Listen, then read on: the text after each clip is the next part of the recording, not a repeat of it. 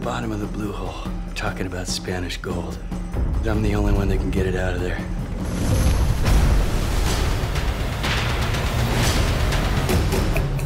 So you want to tell us what happened out there? What about this? I was diving the blue hole, see what I could salvage. You went to the bottom? What else did you find? Someone out there did kill those men. And if it wasn't you, then we should be worried about who or what. Whatever it is, it's big enough to tear a dive boat to shreds. This is all the traits of being some kind of dinosaur. You mean like the extinct kind? If just one of those things can do that to a sailboat, can you imagine what two dozen are gonna do? We gotta do something right here, right now. Afraid of the dark?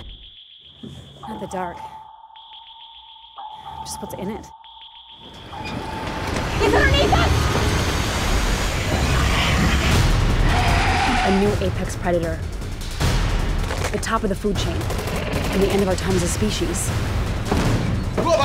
Where is my gold?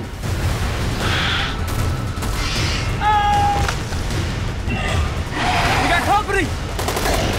I can't let that thing get off the island.